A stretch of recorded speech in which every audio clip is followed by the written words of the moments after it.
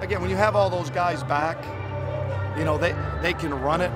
You're really talking about a, an offense that, when these no-huddle teams go that fast, it's basically two minute.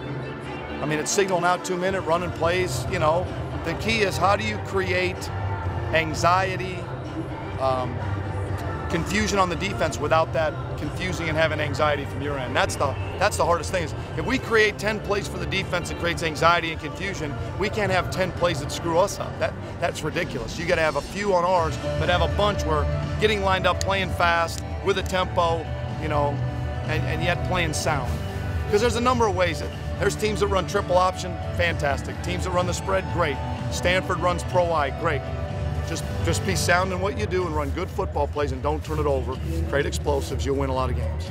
Do you already feel like you're to the point where it is your offense, or you're still working towards that? Oh, it's our offense. I mean, I don't know what it was today because I didn't call one play. So that was Stephen Parker and uh, Doug Meacham today. But again, whatever we make of it is ours. It's nobody else's. Whatever it was before is gone in West Virginia. And again, they did a great job, tremendous job. Okay, but that's gone just like when Dana came here, it's his. Somebody else leaves, it's theirs. There's no else. Because I said we have to make it our own. So.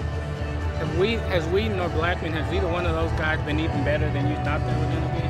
Um, I guess to say that I think they were better, I, I don't know if that's that, but uh, surprisingly, you know, they've. Uh,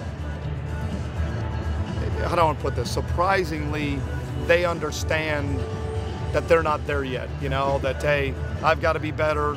I've got to work hard at my craft.